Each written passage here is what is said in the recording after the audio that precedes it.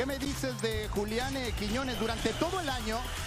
Pero qué liguilla tuviste, Julián. Ese gol que nunca los rojinegros ni todos los amantes del deporte vamos a olvidar en la final de ida, ¿no? Paco en el Estadio Jalisco. Qué jugador.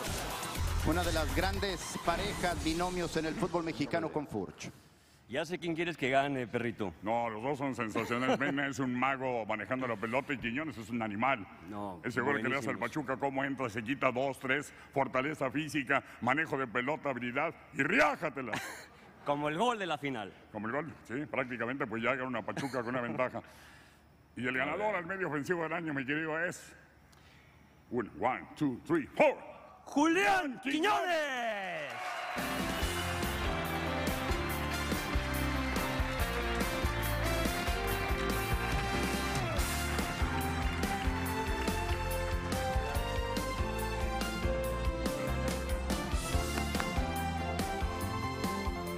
Buenas noches.